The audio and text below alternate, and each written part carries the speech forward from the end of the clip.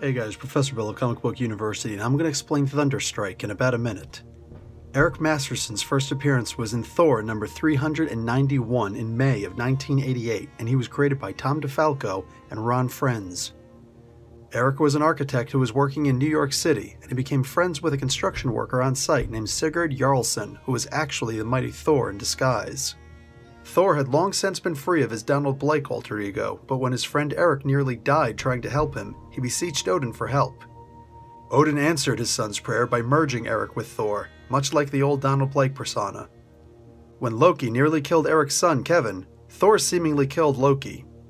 Odin, enraged by Thor's actions, banished Thor, but he honors his son's request to leave Eric as a protector of Earth.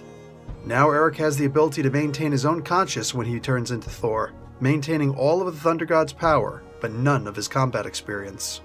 When Thor returned, Eric returned Mjolnir, and he was given a new Uru mace named Thunderstrike.